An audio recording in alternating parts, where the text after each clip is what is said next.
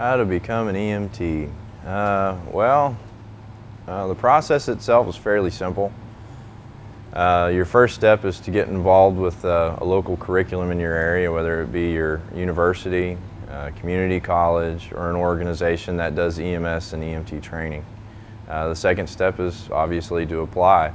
Take the class, pretty much they guide you from there. Um, as far as the EMT basic class is concerned, this would be your, your first step on your way to paramedic if you so choose to go all the way through with your paramedic.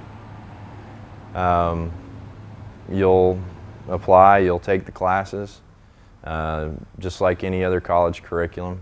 Um, you'll do hands-on training uh, with, with each organization and some more than others. It just depends on, on the department or the college. Um, after you're done with your in-class instruction, uh, you'll most likely do a lot of hands-on stuff with a local area EMS provider uh, to get some experience actually on the ambulance uh, before you're eligible to apply for your national registry or state certification test.